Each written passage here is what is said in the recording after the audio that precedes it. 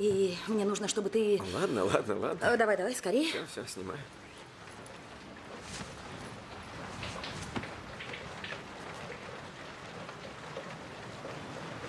Черт! Не может быть! Тебя словно отфотошопили. Доброго, доброго времени суток, дорогой зритель. Меня зовут Лещенко Глеб, и в этом видео я хочу тебе рассказать жизненный путь Райана Гослинга от синдрома дефицита внимания до бегущего по лезвию. Райан Гослинг родился 12 ноября 1980 года в Лондоне, но не в британском, а в канадском, что расположен на юго-западе провинции Онтарио. Его отец Томас Рэй Гослинг был камевояжером при местной бумажной фабрике и постоянно пропадал на работе, как и его супруга Дона Гослинг, работавшая секретарем в компании. У Райана есть также старшая сестра Мэнди. Жизнь в семье была не сладкой. Родители часто ссорились, а когда Райану исполнилось 13 лет, и вовсе развелись. Мальчик и его сестра остались жить с мамой. Впоследствии актер шутил, что жизнь с двумя женщинами научил его мыслить как девчонка. В начальной школе Райан был гиперактивным, дрочливым, он конфликтовал со сверстниками и не имел друзей. В первом классе, находясь под впечатлением фильма «Первая кровь» со Сильвестром Сталлоне,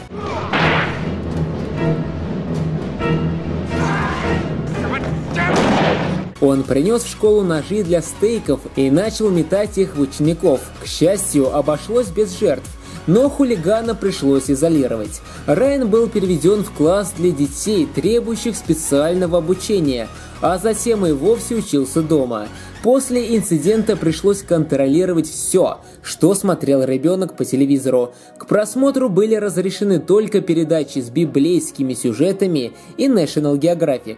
На это решение повлияло еще то, что мама актера была верующим человеком и проповедовала жесткие требования веры мормонов. К счастью, в какой-то момент Дона Гослинг догадалась, что причина поведения сына кроется не просто в стремлении привлечь внимание, а в нереализованном творческом потенциале, который в сочетании с безграничной энергией, таившейся в мальчике с самого его рождения, искал выхода. Так, в 13 лет Райан был записан в знаменитый клуб Микки Мауса.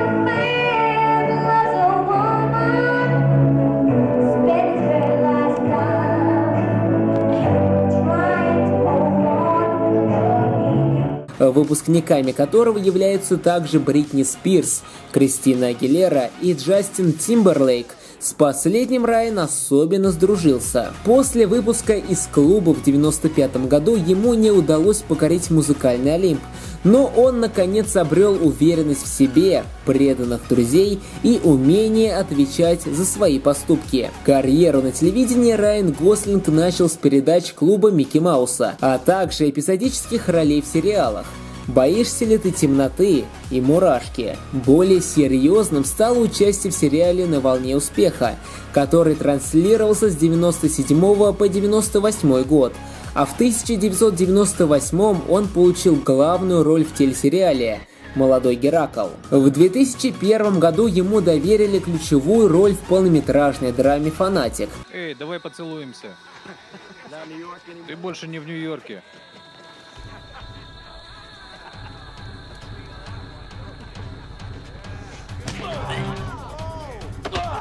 Его персонаж – еврей-неонацист, разочаровавшийся в иудаизме и мечте стать раввином.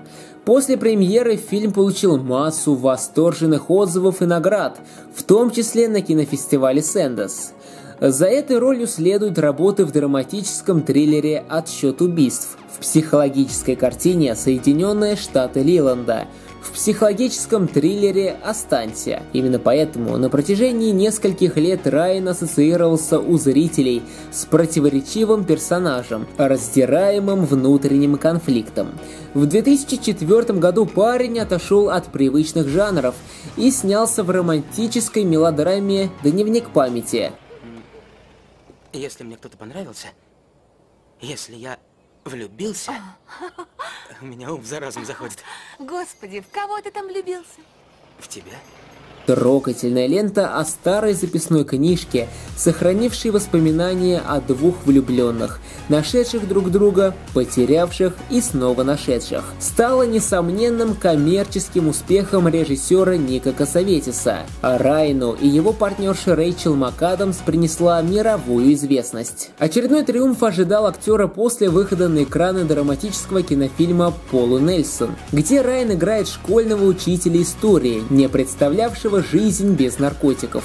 Фильм получил восторженные отзывы критиков, а в итоге Райна Гослинга номинировали на Оскар в категории «Лучшая мужская роль». За участие в следующих четырех кинофильмах канадец четыре раза номинирован на «Золотой глобус» как лучший актер, но награду так и не получил.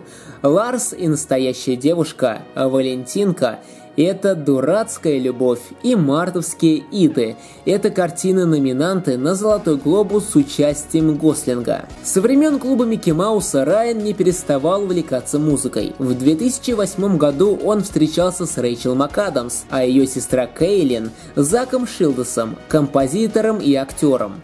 Как-то раз молодые люди разговорились и выяснили, что им обоим нравятся страшилки и всяческая хоррор-атрибутика. К тому же оба были увлечены идеей создания музыкальной группы. Так на свет появился коллектив Dance Man's Bones. В конце того же года ребята выложили в интернет свой первый трек «In the Room Where You Sleep».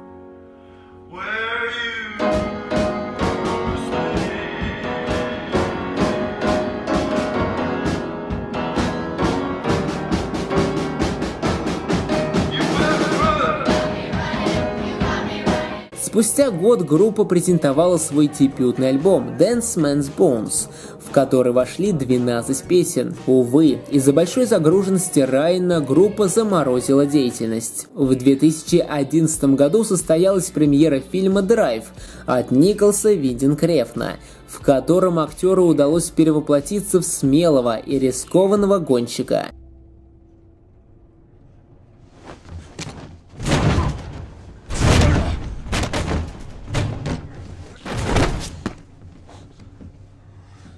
Стоит отметить, что за все время имя героя ни разу не упоминалось, а большинство трюков актер выполнял без помощи каскадеров. В 2012 году вышел фильм «Место под соснами».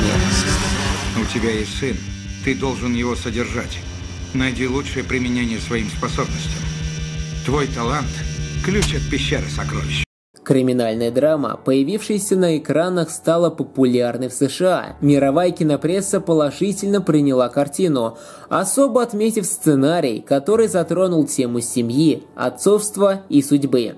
А в 2013 году вышли фильмы «Охотники на гангстеров» и «Только Бог простит». Что же ты раньше не появился в моей жизни? Джерри, продавец Библий. Бухал. В 2014 году он впервые выступил не в качестве актера, а взял на себя обязанности режиссера, сняв фантазийную ленту «Как поймать монстра» в духе Дэвида Линча, Николса Виндинкрефна и Теренса Малика.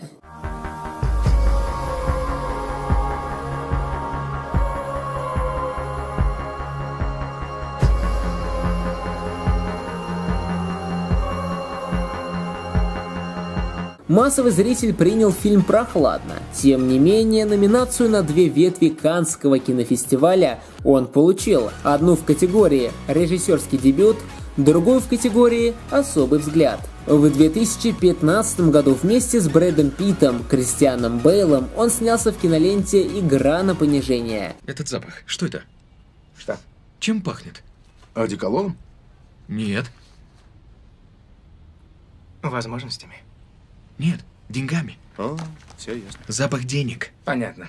Райан появился в роли аналитика, сумевшего заработать не один миллион во время кризиса. Также в этом году он снялся в фильме «Песня за песней» с Натали Портман, Майклом Фассбендером, Руни Мара и Кейт Бланшетт.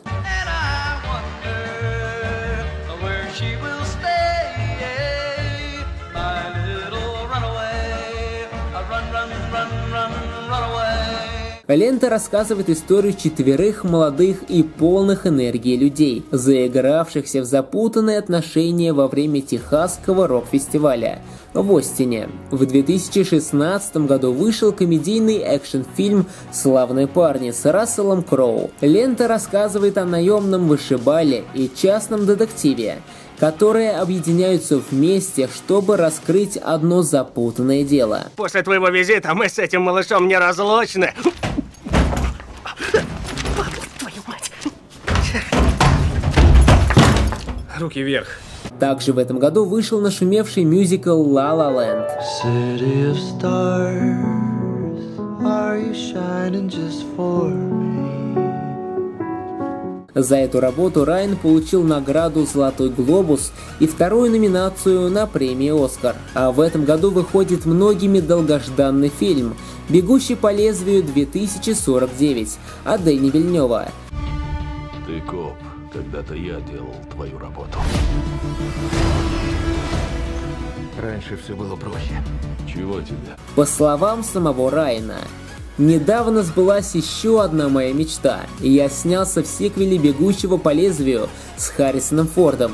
В детстве обожал это кино и даже представить не мог, что когда-нибудь, во-первых, появится своеобразный его повтор, а во-вторых, это вообще что-то запредельное, и я там сыграю. И хотелось бы рассказать про забавный случай, который произошел во время съемок этого фильма. Сейчас на этом фото ты видишь запечатленный момент, когда Харрисон Форд непреднамеренно бьет Райна Гослинга, по лицу в сцене драки. В декабре 2016 года Гослинг рассказал об этом инциденте во время работы над фильмом.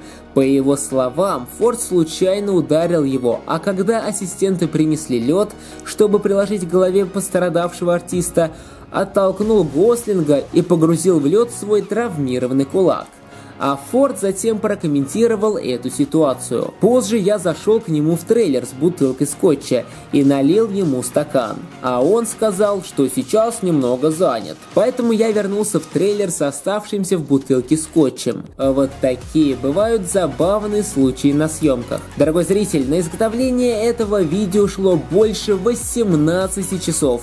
Поэтому лучшей благодарностью будет подписаться на мой канал просто о кино. Каждую неделю здесь выходят все новые и новые выпуски про кино. Также поделись этим видеороликом со своими друзьями в социальных сетях и поставь ему лайк. С тобой был на связи Лещенко Глеб и до встречи уже в следующем видеоролике. Всем пока-пока-пока!